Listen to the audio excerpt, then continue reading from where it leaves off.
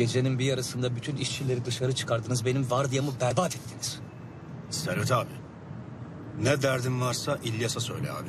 Hayır yani bu saatte ne iş yapılabilir ki haddanede sizin meslekle ilgili? Hadi bildirilen yere haddane denmiyor muydu Servet abi?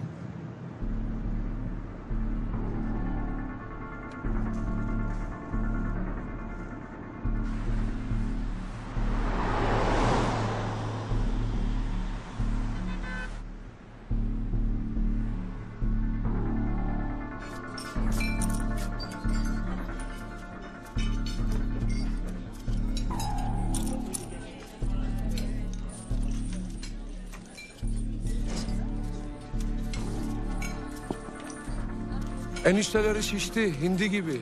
Kabardı, kabardı, kabardı. Ne dese beğenirsin. Ayıp olmuyor mu Bekir ağa? Ölen dedim senin ayıbına da sana da rezil. Karılarınıza icraat yaptırıyorsunuz. Siz nasıl adamlarsınız? İlyas o dakika sıkacaktı da yemedi tabii. Ee, polis tepelerinde, devlet peşlerinde nereye sıkıyor?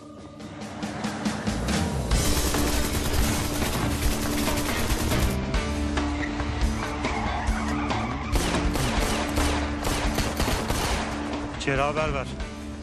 Aha beş daha. Yokum. Beşi gördüm. 2000 daha. Çok cesur adamsın ha Rüstem. Eyvallah baba.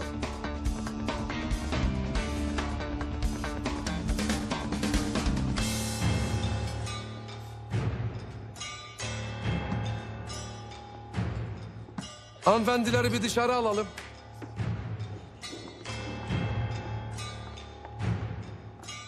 Ayhan Bey, siz de misafirinizi alıp çıkabilirsiniz. Teşekkürler.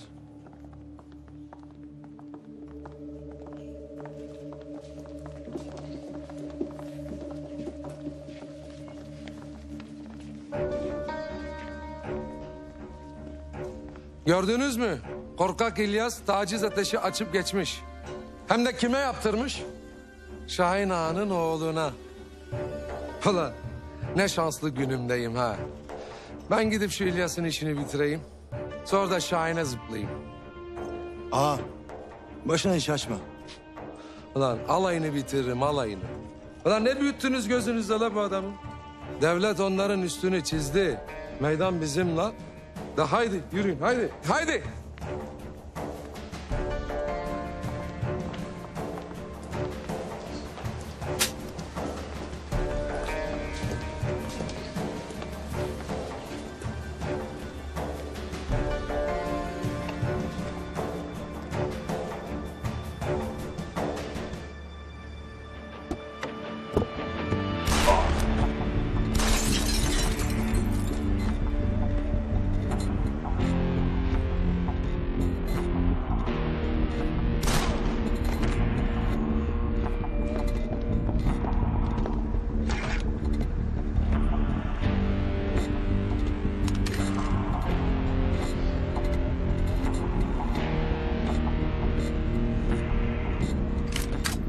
Ulan bu itlerin hepsini bitirin ha anladınız? Hepsini bitirin hadi.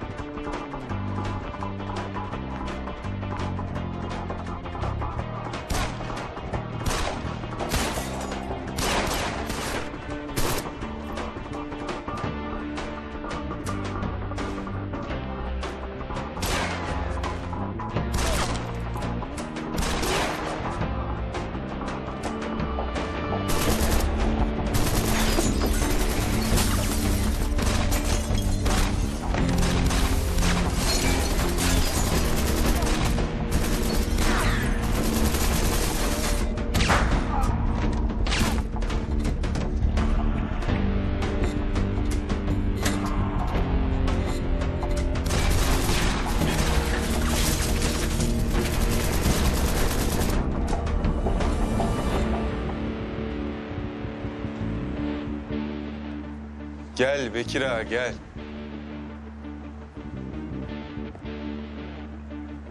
Gel de seninle biraz konuşalım gel. Şimdi biz sabah seni enişteyle birlikte yanlış anladık. Ama şimdi benim kafama bir şey takıldı.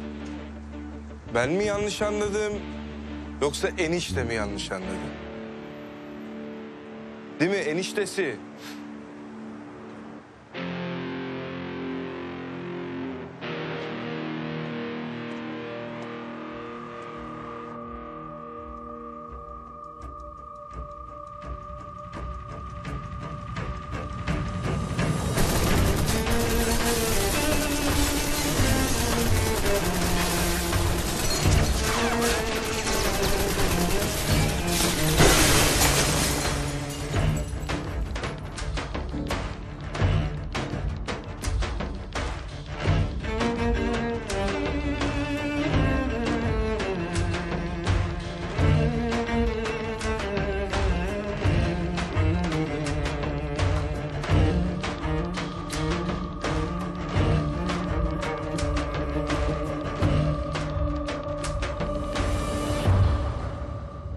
Ya niye yanlış bir işin içine gireyim mübeccel?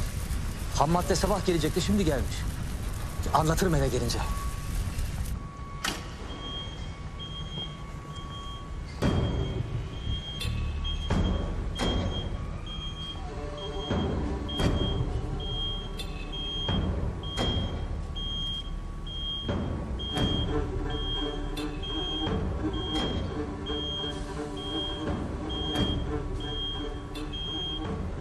İlyas.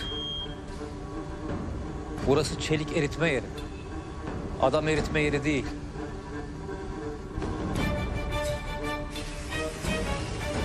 Bundan daha iyi ham madde olur mu Servet abi?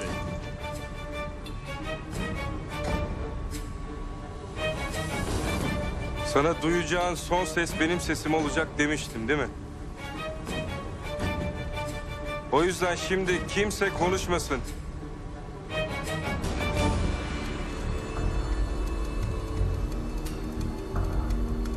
Enişte, sen hariç.